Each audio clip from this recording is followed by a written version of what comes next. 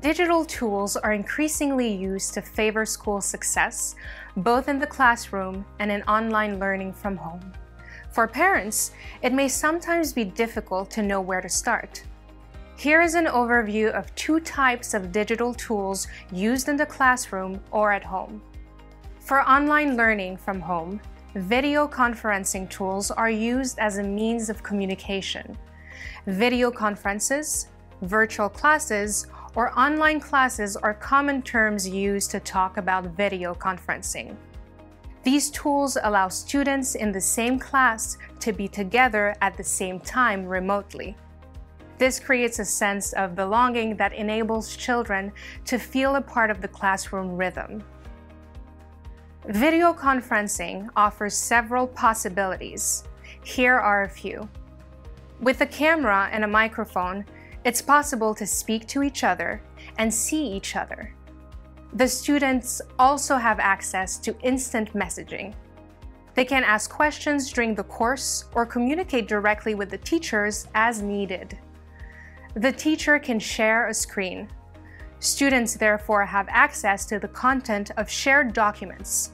They can also watch videos to support their learning. Students can download the documents before or after class. If the teacher makes it available, Students can also have access to a recording of the class afterwards. Students can click on the raised hand icon to ask to speak. They can also click on the thumbs up icon to show their agreement and thus use secondary methods of communication. In a virtual classroom, it's also possible to form a subgroup or a small group of students for certain activities. This option makes teamwork easier and allows the teacher to visit each team while they are working. Certain apps allow documents to be deposited, such as students' written assignments. This allows the teacher to comment on the work directly, correct it, evaluate it, and then send it back to the students, who can then recover it easily. Some virtual spaces allow storage of large quantities of data and large files. This allows the teacher to make certain files available to the students, such as presentations, videos, or recordings of the class after it's over. Obviously, other tools can be used, such as websites offering interactive exercises or software to produce documents.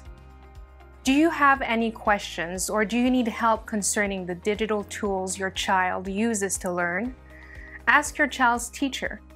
Also, several explanatory guides have been produced for parents and are available on the internet.